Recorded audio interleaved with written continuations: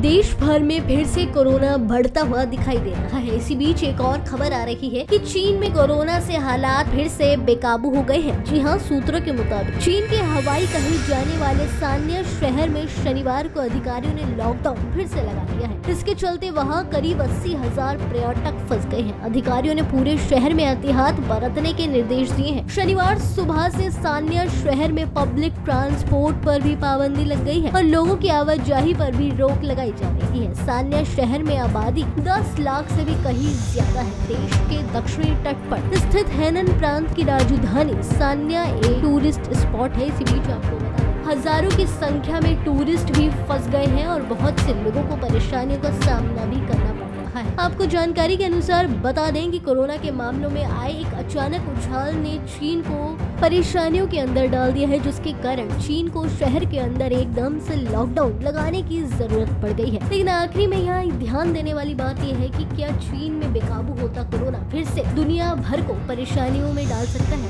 अभी के लिए केवल इतना ही लेकिन ऐसी ही ताज़ा तमाम बड़ी अपडेट से हमेशा जुड़े रहने के लिए देखते रहिए पंजाब केसरी डॉट